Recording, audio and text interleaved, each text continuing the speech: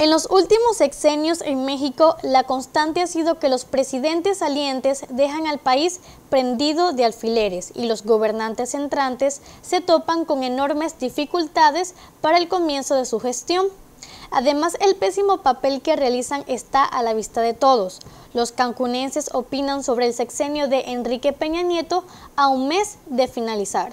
Pues la verdad, pues ahora sí que estuvo muy mal su administración en el sentido de que ahora sí que siendo nosotros mexicanos tuvimos el, la desgracia, se puede decir, ¿verdad? De, de que realmente elegimos a un mal presidente. Opino que no fue bueno porque subieron mucho las cosas y la inseguridad creció demasiado. Que cabe, cada presidente hace lo que, lo que ellos pueden, ¿no? Lo que ellos pueden. Este.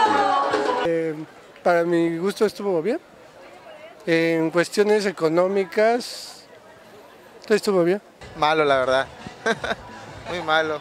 Malas decisiones, mala administración pública.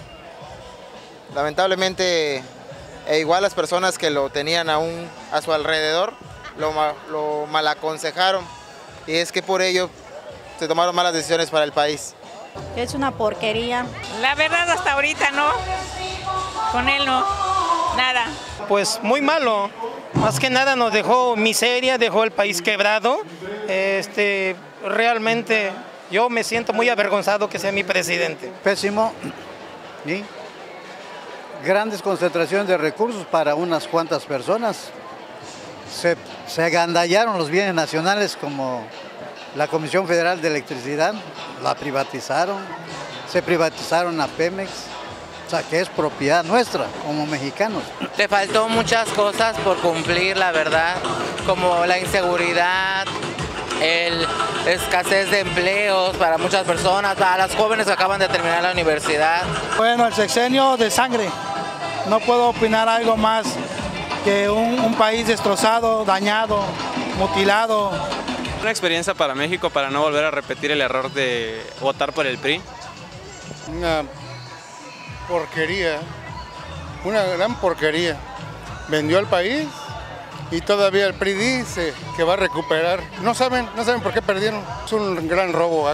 Ahorita lo de las casetas, el compadre del, del Peña Nieto se estaba llevando, pero millones, y a él también le tocaba. Estuvo muy mal, como que no, no trabajó. Ojalá Dios quiera que ahorita con este presidente nuevo, pues este, se componga la situación más que nada económica por los niños. Se desató muy feo la delincuencia juvenil, delincuencia organizada, de todos hizo un desastre.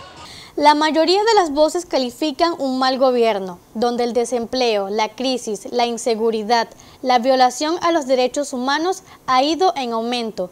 Las mujeres que votaron en su momento por lo guapo del presidente Enrique Peña Nieto hoy están decantadas, un sexenio para olvidar.